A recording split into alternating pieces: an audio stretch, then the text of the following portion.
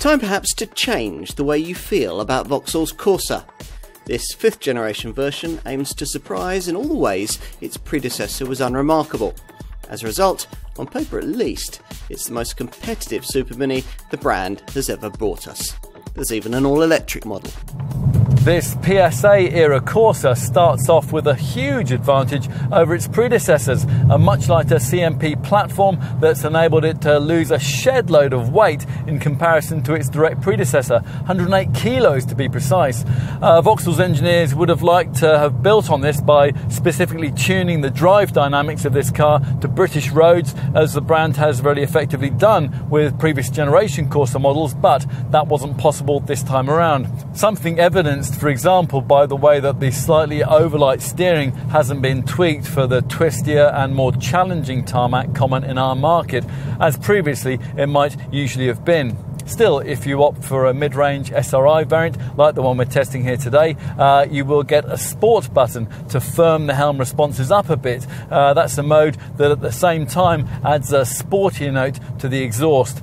SRI models also get suspension equipped with special strut tower tie rods, which provide a form of cross bracing to create a more solid and precise feel through the steering.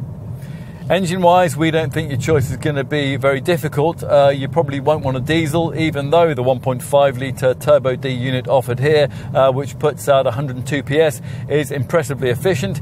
Ideally, too, you'd want to look beyond the base petrol power plant, uh, 75 PS, normally aspirated version of the PSA Group's usual three cylinder 1.2 litre engine that in this form doesn't have a great deal of pulling power. That same 1.2 litre unit is much better suited to this car in the turbocharged 100 PS guise that we're trying here, a form uh, in which it manages to be very competitively clean and frugal.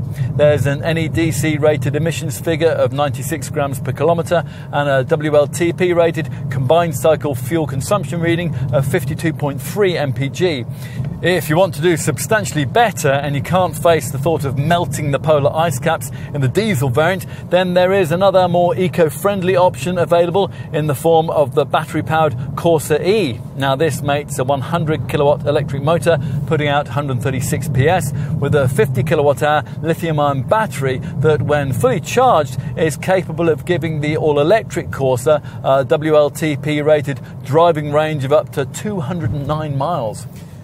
So, what do you think? This fifth generation Corsa F design is certainly very different from its predecessor. It's been described by Vauxhall as being less van like, and if you come from the previous model, that'll certainly be your first impression thanks to 39mm of extra length and a substantial 48mm reduction in roof height. It's certainly more grown up looking thing with its smarter detailing, shorter overhangs, and more vertical windscreen. And it now only comes with five doors.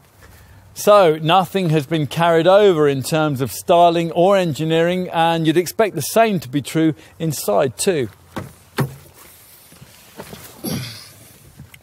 which is absolutely the case. If you've driven a Corsa before, as most of us have, the Griffin badge on the steering wheel will be the only thing you'll recognise about this one. You sit much lower than you did before, and the cabin surrounding you is of considerably higher quality with glossy black trim that delivers a much more upmarket feel. Technology also helps, of course, with the greater perception of sophistication. Uh, the minimum centre dash size for the monitor is now 7 inches, that's like the one we've got here here, while at the very top of the range, you can have a wide, brightly coloured 10 inch HD fascia display. Both monitors deliver the expected smartphone mirroring functionality, and of course, there is navigation too. Now, that's optional with this smaller screen. Avoid entry level trim and you'll find another 7 inch digital display featuring with virtual dials in the instrument binnacle here. Now we've stuck with the conventional gauges instead here, which are separated by a 3.5 inch trip computer. Build quality, uh, it doesn't quite match the highest class standards, but ergonomically, there's not much to fault. The seats are supportive, uh, nothing's irritatingly awkward to get to, and everything's exactly where you expect it to be. Vauxhall has produced a much better Corsa, of that there's no doubt. It's smarter, quieter, classier, and more sophisticated than any of its predecessors. But it's also considerably more expensive too, so it's just as well that you're getting plenty more in return. True, it's not class leading in any particular area, but it is a very mature feeling little thing with a combination of virtues that's difficult to beat. It's a small Vauxhall for which no apologies need to be made, and that will worry obvious Super rivals. After all, this model's predecessors had nothing like the depth of engineering and quality of this car, yet they still racked up very respectable sales. This time around, the Corsa aims to sell on more than just sheer value, and it might just manage it.